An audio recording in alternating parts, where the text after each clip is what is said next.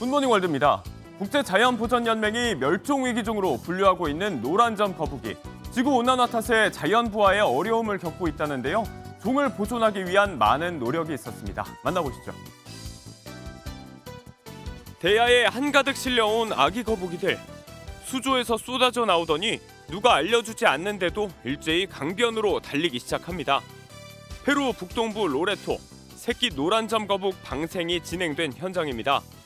페루 파카야 사메리아 국립생태보호구역에서는 지난 20년간 멸종위기종인 노란점 거북이들을 보호해 왔는데요.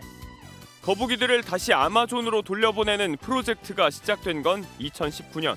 올해 벌써 3,200마리의 거북이를 방생했답니다. 페루 지방정부와 민간 기업 간의 노력이 결실을 맺는 현장. 건강한 모습으로 아마존의 품을 마음껏 누비길 바랍니다.